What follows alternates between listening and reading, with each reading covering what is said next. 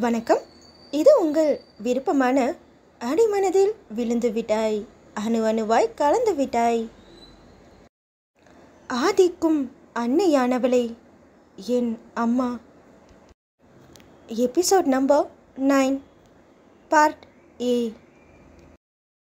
போன பகுதியில் நம்ம ஷாமோட பர்த்டே அன்னைக்கு ஆதி பார்வதிக்குள்ளே நடந்த வித்தியாசமான சந்திப்புகளையும் அதன் மூலம் அவங்களுக்கு எழுந்த விசித்திரமான உணர்வுகளையும் பற்றி பார்த்தோம். அடுத்ததாக ஆதி பார்வதியோட வாழ்க்கையில் என்ன நடக்குதுங்கிறத பார்த்து தெரிஞ்சுக்கலாம் வாங்க. நான் வேலைக்கு போய் நல்லா சம்பாரிச்சு அந்த காசில் உங்களுக்கு நல்ல ட்ரீட்மெண்ட்டுக்கு ஏற்பாடு பண்ணணும். நீங்கள் கம்ப்ளீட்டாக சரியாகணும். உங்களையும் ஆட்சியையும் கொட்டிக்கிட்டு இந்த உலகத்தையே சுற்றி வரணும். அப்புறம் பார்வதி இப்படியே கண்ணில் மின்னல் வெட்ட பேசிட்டு இருந்தா. ஆச்சியும் அவ சொல்றதையெல்லாம் ஆசையோட கேட்டுட்டு இருந்தாங்க. ஆனால் சரசம்மாவோ வெளியே சிரிச்ச மாதிரி தன்னை காட்டிக்கிட்டாலும் உள்ளுக்குள்ள வெசனப்பட்டுக்கிட்டு இருந்தாங்க. அவங்க மனசுக்குள்ளவே என்னன்னு தெரியல சக்திமா. உன்னை பற்றின உண்மையை உன்கிட்ட சொல்கிறதுக்கு முன்னாடியே நான் உன்னை விட்டுட்டு போயிடுவேணும்னு பயமாக இருக்குது சாவு வாசல் படியில் நின்று என்னை கூப்பிடுற மாதிரியே இருக்கு பாப்பா. உன்னை உன் குடும்பத்துக்கிட்ட இருந்தும் உன் பெரியய்யா கிட்ட இருந்தும் பிரித்த பாவத்துக்கு தான் நான் நோவு வந்து இப்படி கஷ்டப்படுறேன் போல. நானும் உன்கிட்ட உண்மையை சொல்ல தான் நினைக்கிறேன். ஆனால் அப்படின்னு பாட்டியை ஒரு பார்வை பார்த்துட்டு உன் பாட்டி என்கிட்ட வாங்கின சத்தியம்தான். என்னை தடுக்குதுடா. கூடவே அந்த பேய் வனஜாவை பற்றின பயமும் தான். எங்கள் ரெண்டு பேரை தாண்டி உன்னை பற்றின உண்மை தெரிஞ்ச ஒரே ஜீவன் உன் கண்மணி டீச்சர் மட்டும்தான். எனக்கு ஏதாவது ஆனாலும் சரியான நேரத்தில் பத்திரமா உன் குடும்பத்தோட ஒன்று அவங்க சேர்த்து வச்சிடுவாங்கங்கிற நம்பிக்கையில் தான் நான் கண்ணை மூடுறதை பற்றி கூட கவலை இல்லாமல் இருக்கேன். அவங்க தன்னோட யோசனையிலேயே உழல பார்வதி தான். சத்தமா? சரசம்மா? அப்படின்னு கத்தி அவங்கள ரியாலிட்டிக்கு கூட்டிட்டு வந்தா. என்ன சரசம்மா? நான் என் கனவை பத்தி சொல்லிக்கிட்டு இருந்தா அதை கேட்காம நீங்க தனியா கனவை கண்டுட்டு இருக்கீங்க?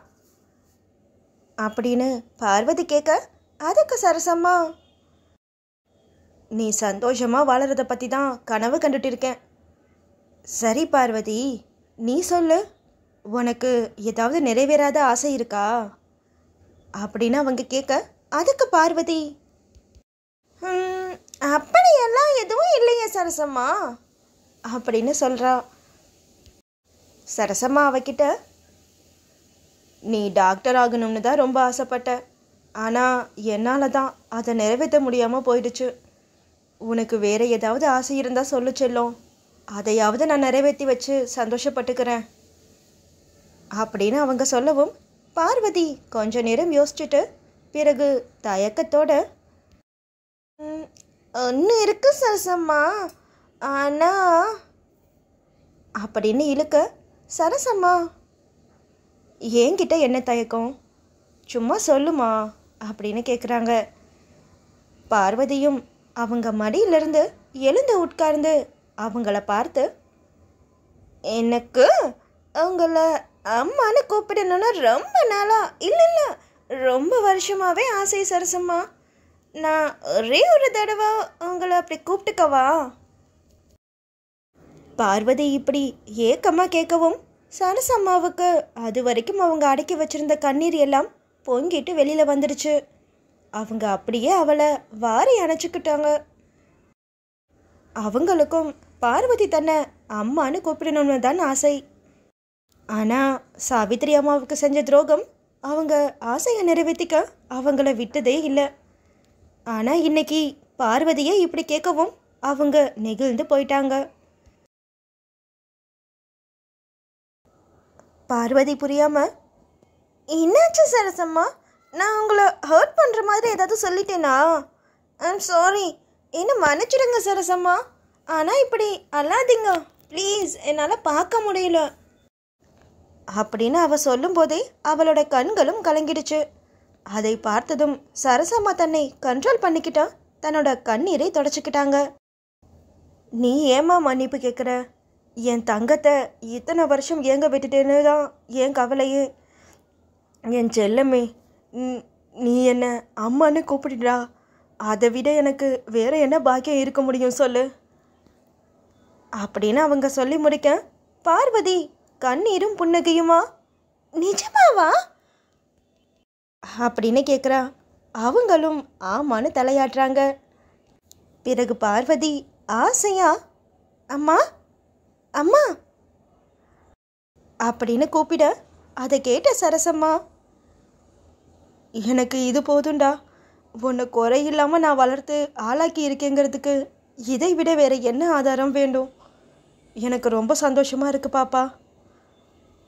அப்படின்னு சொல்லி அவளுக்கு முத்த மலையா பொழிஞ்சாங்க. பிறகு பார்வதி தயக்கமா? இவ்வளோ சந்தோஷப்படுற நீங்க? ஏமா இத்தனை வருஷமா உங்களை அம்மான்னு என்னை கூப்பிட விடல? பார்வதி கேட்க சரசம்மா என்ன சொல்றதுன்னு புரியாம முழிக்க. ஆட்சி இடையில. அது அவ அப்பா அவளை சரசம்மான்னு தான் கூப்பிடுவாரு. அவள் அப்பா நினைவா நீயும் அவளை அப்படி கூப்பிடணும்னு நினச்சா அவ்வளவுதான் அப்படின்னு சொல்கிறாங்க சரசம்மாவும் சமாளிப்பா. ஆமாம் பாப்பா. சரி டைம் ஆகுது. நீ சீக்கிரம் படுடா. காலையில் நேரமாக எழுந்து நம்ம கடற்கரைக்கு போய் சூரியோதயத்தை பார்க்கலாம் அப்படின்னு சொல்ல பார்வதி உடனே உற்சாகமாக சரின்னு சொல்லிட்டு கீழே போனா. சரசம்மா பார்வதியை தன்னோட மடியில் படுக்க வச்சு தூங்க வச்சாங்க. அவ தூங்கினதும் அவ உச்சந்தலையில முத்தம் கொடுத்து அவளை பிளஸ் பண்ணாங்க. பிறகு அவளையே கொஞ்ச நேரம் பார்த்து ரசிச்சவங்க எழுந்து பாட்டியோட ரூமுக்கு போனாங்க. அங்க பாட்டி ஆல்ரெடி தூங்கியிருந்தாங்க. அவங்களோட பாதத்தை தொட்டு கும்பிட்டு அவங்களுக்கு மனசார கண்ணீரோட நன்றி சொல்லிட்டு அவங்க பெட்டில் போய் படுத்த சரசம்மா பார்வதி அவங்கள அம்மான்னு கூப்பிட்டதை நினச்சிக்கிட்டே நிறைஞ்ச மனசோட கண்ணை மூடினாங்க. அடுத்த நாள் காலையில் பார்வதி தான் முதல்ல எழுந்தா. அவ மனசுக்குள்ள அச்சோ டைம் ஆகிடுச்சு. இந்த அம்மா இன்னுமா தூங்குறாங்க? அப்படின்னு நினச்சிக்கிட்டே போய் ஃப்ரெஷ்அப் ஆகிட்டு சரசம்மா கிட்ட போனா. அம்மா மணி என்ன ஆச்சு தெரியுமா? சீக்கிரம் எழுந்துடுங்க. அப்படின்னு அவ கூப்பிட சரசம்மாவோ எழுந்துக்கவே இல்லை. பார்வதி போய் கோபத்தோட நைட்டு நீங்கள் என்ன சொன்னீங்கம்மா? நம்ம சேர்ந்து சூரியத்தை பார்க்கலான்னு தானே? ஆனால் இப்போ இப்படி தூங்கிட்டு இருக்கீங்க? அப்படின்னு சொல்லிக்கிட்டே அவங்கள எழுப்ப அவங்க மேலே கையை வச்சவ கரண்டை தொட்ட மாதிரி சட்டுன்னு கையை எடுத்துட்டா. ஏன்னா அவங்க உடம்பு ஐஸ் மாதிரி சில்லுன்னு இருந்தது. அவளோட கை நடுங்க. அம்மா! அப்படின்னு அவளோட குரலும் நடுங்க. அவங்களை திரும்பவும் தொட்டு எழுப்ப பார்த்தா. ஆனால் அவங்க கிட்ட அசைவே இல்லை. பார்வதிக்கு என்னன்னு புரிஞ்சாலும் அதை ஏற்றுக்க அவளுக்கு மனசு இல்லை. அதனால் மெல்ல அவங்க கையை எடுத்து நாடி பிடிச்சு பார்த்தா. அது துடிப்பே இல்லாதிருந்தது. அப்பவும் நம்பாம அவங்க நெஞ்சில் காதை வச்சு கேட்டா அதுவும் நிசப்தமாக இருக்க? தன் நெஞ்சை பிடிச்சுக்கிட்டே சிலை மாதிரி நின்னுட்டா பார்வதி? அங்க நிர்மலமான புன்னகையோட சூரியோதத்தை பார்க்காமலே ஒரேடியாக தூங்கிட்டு இருந்தாங்க சரசம்மா. சொந்த பந்தம்னு யாரும் பெருசாக இல்லாததுனால சரசம்மாவோட பாடியை அங்கே இருக்க வெட்டி யானை வச்சு அன்னைக்கு ஈவினிங் எரிச்சிடலாம்னு முடிவு பண்ணாங்க ஊர்க்காரவங்க. ஆனால் பார்வதி அடம் பிடிச்சு அவளே சரசம்மாவுக்கு ஈமக்கிரகையை செஞ்சு முடிச்சா. கண்மணி டீச்சர் தான் அவளுக்கு உறுதுணையாக இந்த சமயத்தில் இருந்தது.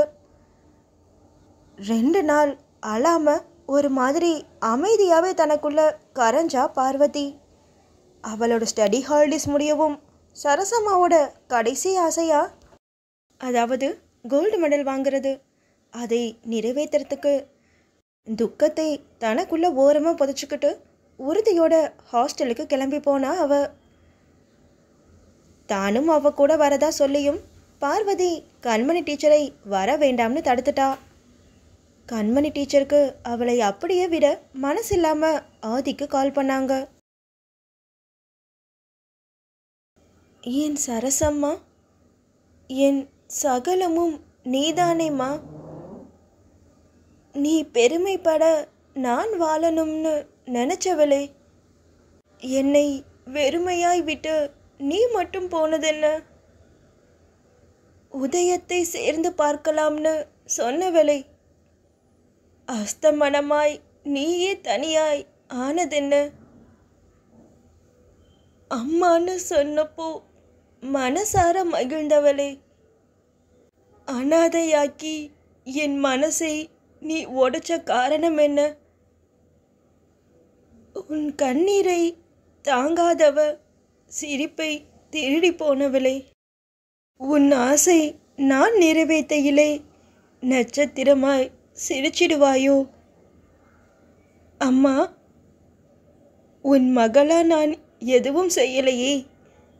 என் மகளா நீ பிறப்பெடுத்து வருவாயோ? ஒரு மகளா நான் உனக்கு செய்யாம விட்டதெல்லாம் உன் தாயாய் மாறி நானும் உனக்கு செய்ய எனக்கு வரம்தான் கொடுப்பாயோ? தொடர்ந்து இணைந்திருங்கள். இது உங்கள் விருப்பமான அடிமனத்தில் விழுந்து விட்டாய் அணு அணுவாய் கலந்து விட்டாய்